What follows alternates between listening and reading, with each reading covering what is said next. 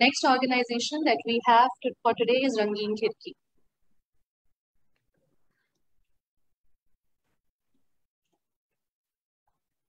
Hi. Can, Hi. You, can you Hi. can you share your uh, screen presentation? Sanjana?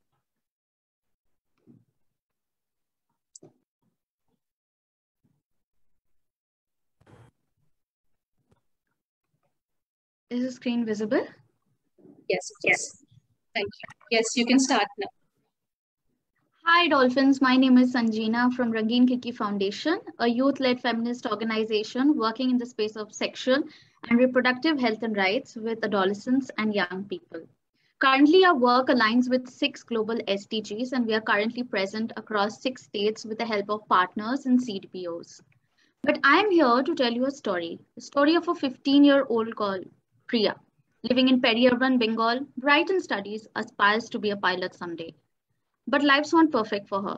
Priya is being subject to sexual abuse by an uncle at home. Without the vocabulary and the fear of being disbelieved, she's living with this horror. She has developed painful blisters in her genitals and does not know what to do about it.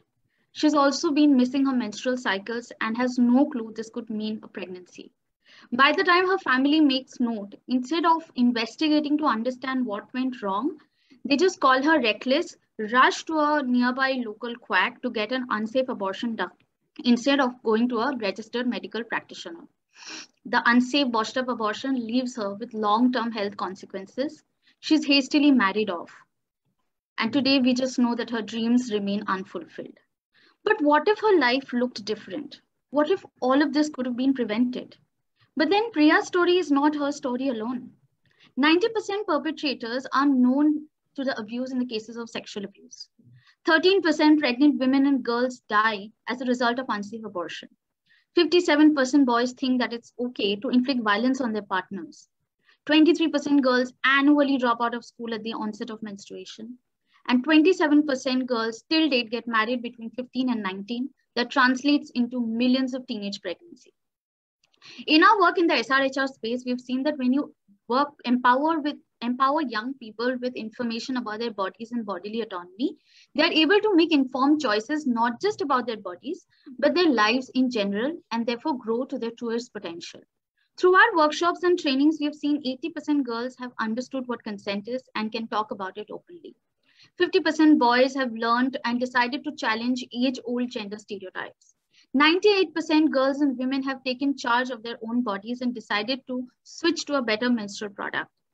We are working with 340 plus parents, teachers, education, and staff combined, along with 20 CBOs, to bring in a change at the ecosystem level. We are a young, vivacious, women led team and mentored by stalwarts like Luis Miranda, Dr. Fiona Diaz Miranda, Nagma Mullah, Neha Boch, among others. We believe that with our expertise and your support, we'd be able to in exponentially increase our reach. With just 1000 rupees, you would be helping us to create an impact in somebody's life almost permanently. So my dear dolphins, join us in this journey and help us open up opportunities for young people. Thank you. Thank you, Sanjana. Thank you. Can we have questions from the dolphins for I'll just quickly start. Could you just give us a sense, great work you're doing. Could you just give us a sense of where you're doing it? How does the training process work? Sure. Uh, so we're currently, um, we, we are in West Bengal in like physically, but thanks to the pandemic, it has helped us transgress boundaries. So we have worked with organizations like Teach for India. We are working with Ministry of Child, uh, Ministry of Women and Child Development Delhi, where we have trained Anganwadi workers. We are working with West Bengal uh, Ministry of Health and Family Welfare, where we are training peer educators under the RKSK program. Uh, along with that, we have other partners, schools. We're also recently joined hands with an organization called Choice for Youth in Nagaland, and we are going there um, early next month. And uh, what is the other question? Yeah, we have two programs now. Yeah. Um, so we have Period Adda, which is holistic menstrual health program, uh, which builds capacities of trainers, staff, um, and directly girls as well. And we have a comprehensive sexuality education program, uh, which is a, and we have developed a scientific module which is vetted by Dr. Fiona Diaz Miranda as well, who's a sexuality educator. and I am a trained uh, sexuality educator from Tarshi as well. And we are working, our idea is to first work with stakeholders than just working with young people directly because mm-hmm. we feel that unless there's a creation of safe space uh, there's no point in continually just working with adolescents so we have two approach building capacities of young people as well as building capacities of stakeholders like parents teachers educators community leaders etc got it so just to be very clear what the 1000 rupees or 100 rupees per beneficiary works out to it's the training cost the distribution personnel all b2b yes. working with partners to deliver? You don't run your own centers. We do have two uh, communities that we work with in West Bengal.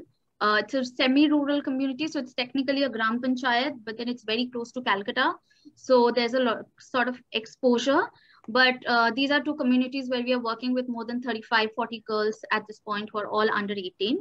Uh, this is just a rough breakup of that 1,000 rupees that we are asking for. So that's training material that goes into it, distribution material. So we hand over, uh, usually if you're doing a period at adda program, we given, uh, we offer them reusable cloth pads, which obviously saves them three years of uh, cost for sanitary napkin.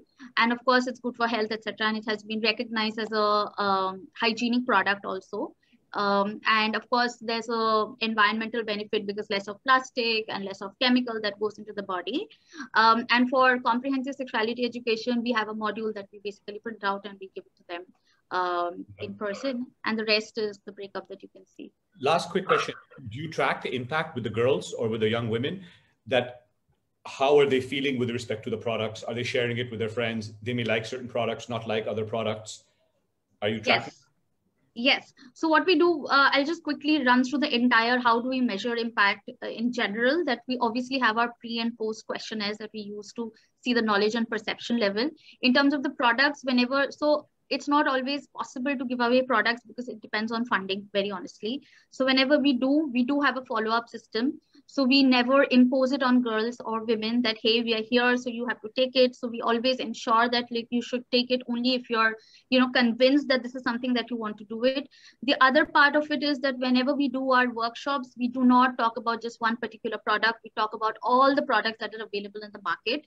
And the idea is that they make informed choices. And the third aspect is we follow up every three months. One month is too short a period of time. So we follow up three months later that, hey, are you using it? Are you liking the product? Do you want more of it? And etc. etc. And if we do get those kind of requests, we uh, sort of expand and see if we can reach out to more people. And, and with organizations who we work with in the sense of the TOT model, we also handhold them for the next two or three months, depending on the need of the program of the organizations. Thank you. Thank you, Sanjana. We have time for just one more question, if anyone. Sorry, sorry, guys. Yeah. no. Thank you, Kartik, for asking those questions. Hi, we Amit. Can, Hi, we can take Arjuna. one more.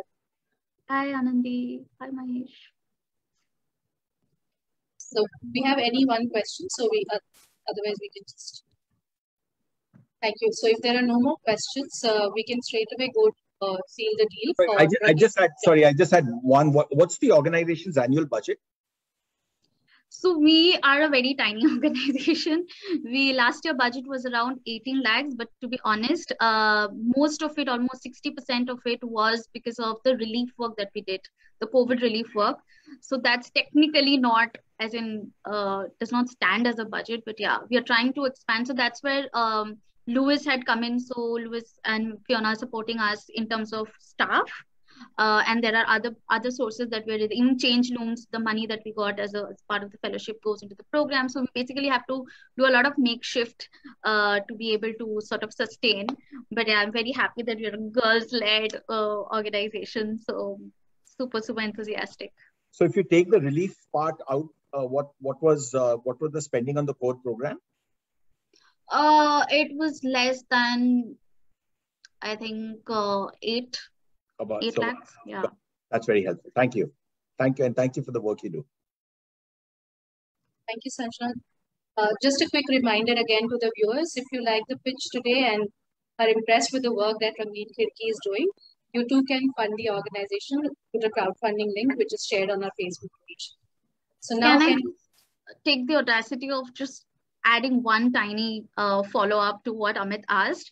Please. So, yes, our organizations have been small, but so far we've reached so many people, and we want to, right now, we're looking at a budget of at least 30 lakhs for the next one and a half years. So, um, fingers crossed. So can we now uh, seal the deal from the audience? Who'll go first?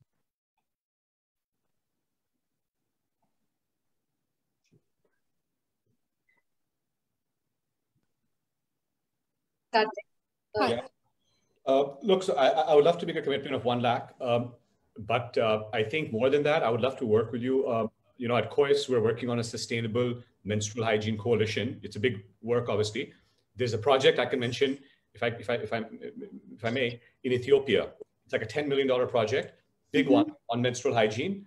These are tri-sector partnerships, awareness building, working with different pharma companies and product distribution, an app to track how the women are using the product, and then even working with schools and all to make sure they have rooms for menstruation and for toilets. So it's a very important area. And the Sure. fact that you're working both B2B, if I can say that, with the Delhi government and all, and you've got some B2C experience, and the fact that you're small, I actually like it because my donations are also small. So I would, I would love to work with you. Sure, sure. I'll get in touch for sure. Thank you, Kartik. Thank you.